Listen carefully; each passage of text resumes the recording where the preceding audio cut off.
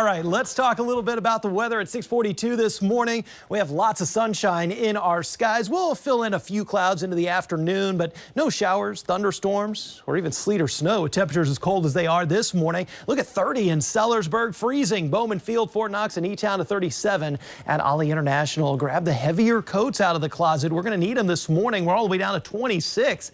It's a hard freeze in Paoli right now, freezing too. 31 degrees uh, in Frankfort, right at 32 in Elizabethtown and Brandenburg on this very chilly Monday morning. We'll make some progress on these temperatures. We'll fill in a little bit of cloud cover, so we go mostly sunny to partly cloudy through the day, but no rain chances. Highs near 59 late in the afternoon, and then we'll start slowly falling back through the middle and lower 50s by 9 o'clock. But it's going to get chilly again, so as we head through the evening, and we'll grab the coats and jackets as lows are going to be down around 40 degrees in town, a lot of 30s tomorrow morning, but highs get to 63 Tuesday, 65 on our Wednesday. Quiet to start the new week. Changes head our way by Thursday. We start out dry early Thursday morning, but notice some rain chances headed primarily into southern Kentucky later in the day. So we'll start to the south with some rain by Thursday afternoon and evening. As we head into Thursday night and Friday, some of those showers scattered in nature, even a few rumbles of thunder possible, start start to head our way and bring us our weather impacts. It's not an all-day washout on Friday, but we're going to need the umbrellas and we'll watch for a couple of those rumbles of thunder as well.